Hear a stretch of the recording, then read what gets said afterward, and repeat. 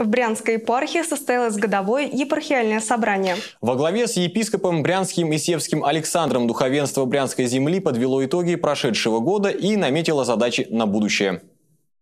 В епархиальном собрании приняли участие благочинные епархиальных церковных округов, настоятели и клирики приходов епархии, наместники и настоятельницы монастырей. Собранием было заслушано приветственное слово губернатора области, после чего с основным докладом выступил управляющий Брянской епархией епископ Александр.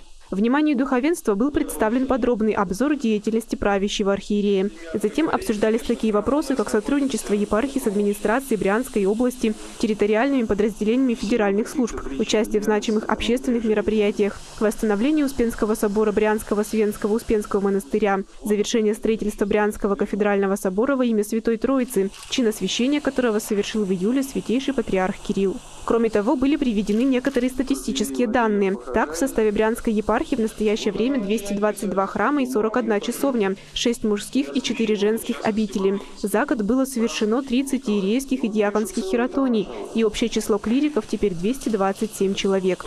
Далее в своем докладе епископ Александр уделил особое внимание вопросам пасторского служения и организации приходской жизни, реализации постановления Архиерейского собора 2011 года, после чего перешел к обзору деятельности епархии епархиальных отделов.